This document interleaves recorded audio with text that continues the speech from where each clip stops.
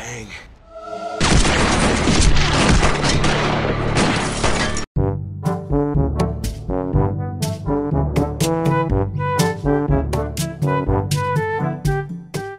So, a year ago, Daredevil graced our Netflix screens, as we may say, and it was really enjoyable. The series was really good. I mean, it was good cinematography, good story. They did the character justice for once. But how does season two hold up? Well, it has its ups and it has its downs. It is still very, very good, as I as is expected with these Netflix Marvel shows. But there is a few little nitpicks which I need to cover in this review. So, returning from the first season, we have Charlie Cox as Matt Murdock, we have Deborah Ann Woll as Karen Page, and we have Elden Henson as Mr. Foggy Nelson. Now, what they did with, with Matt was quite good, because but it was just a bit too similar from the first season. Where it's just like, oh, you're being a hero, but we don't like you for being a hero. That's kind of like the impression you get from his friends. It's a bit, it's a bit hit and miss with the story there. I do wish they'd do a bit more with Foggy.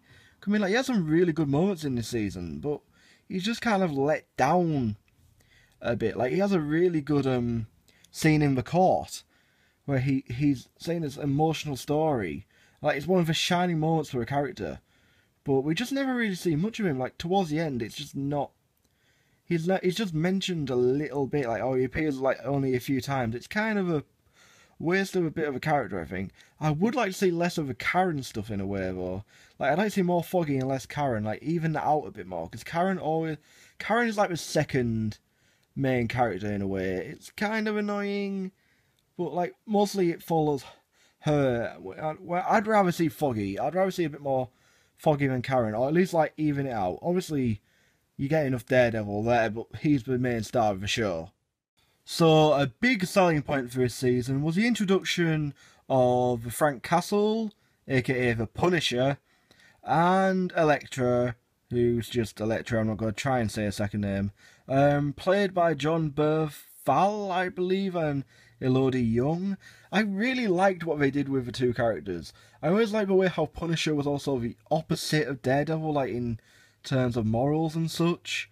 And Elektra was kind of like an in between thing. I did like how like both of the characters worked, but I I think the problem I had with it was the story focused more on Elektra in the end, and I'm not. I know it's personal preference. I would have liked to know more about like the Punisher thing because the Punisher's introduced as the main villain for like the first four episodes, but then like after that, once Elektra's introduced, he's kind of he's taken a back seat. He's a bit like Foggy. He's been taking a back seat, and he only just shows up at the end. It's just like, well, you've kind of wasted the character a bit. You could have done so much more. Like with answers which need to be solved about his like his family de- death and stuff. I want to know the answers, but obviously I'll have to wait till season three or anything like that to find out. But besides that, I think we were both like really good representations of the character, especially um, Jon Bernthal. I think he did amazing as Frank Castle.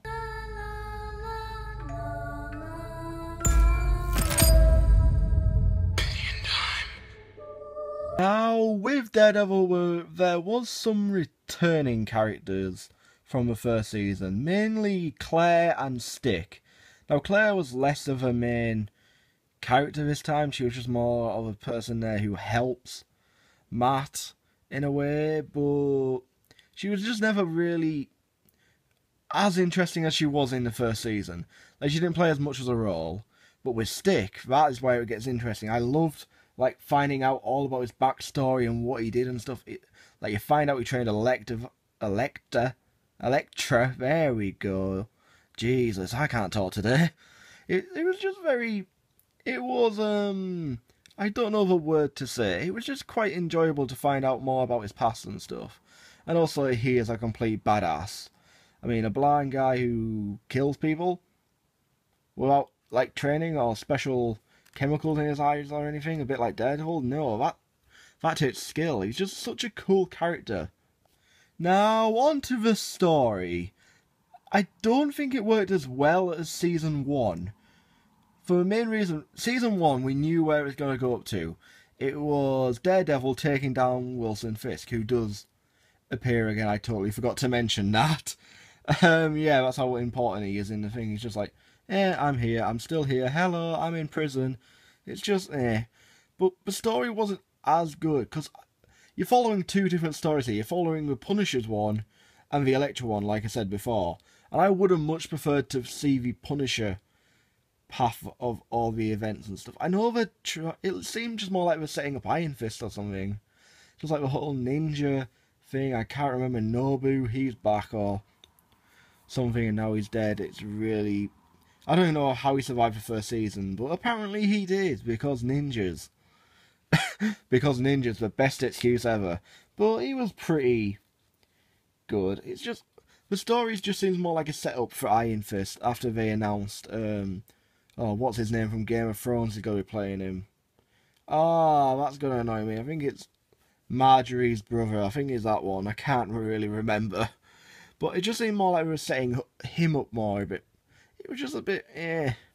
Like I like I said, I would have loved to see the end of a Punisher story. Like I would have. I want to know. I think his name was Blackmail. I want to know more about the thing. I know someone in the comments will say, "Oh, it did actually tell you." Well, I didn't pick that up, but I really want to know more about that story. I want to see where the Punisher goes from here. I think we need to make a Punisher Netflix show. That'd be amazing.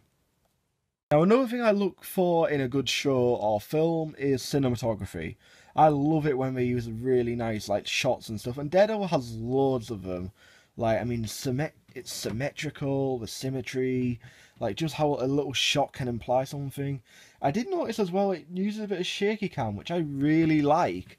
Like it just works with the thing. Like normally you'd think, oh, massive set and stuff, but no, it had a little shaky cam. It was quite. It was like just a little nice little touch. Like if you notice, like if you were looking for it, you would have noticed. But I mean, some of the shots were just amazing. I don't even know how some of them pulled it off. I mean, I did notice as well at one point they followed the 180 degree rule, which I really like because a lot of shows just kind of miss that and like just cut to a different thing.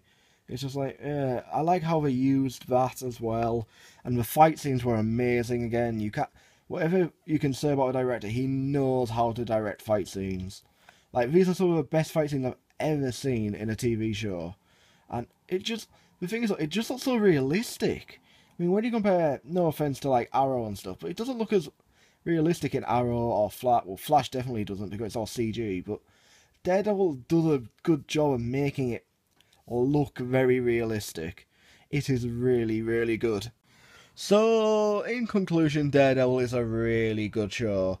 I highly rec- recommend it to anyone who enjoys like Marvel comics or anything. Start watching it because I mean you can just get all the episodes instantly. I know it sounds like a promotion now, but Netflix really know what they're doing with it. I mean, the Netflix universe is so much better than what the other Marvel shows are doing. Agent Carter and Agents of Shield. They're not as interesting. The Netflix stuff is way is the way to go. It's just really really good. So, what's Vroom's verdict for this?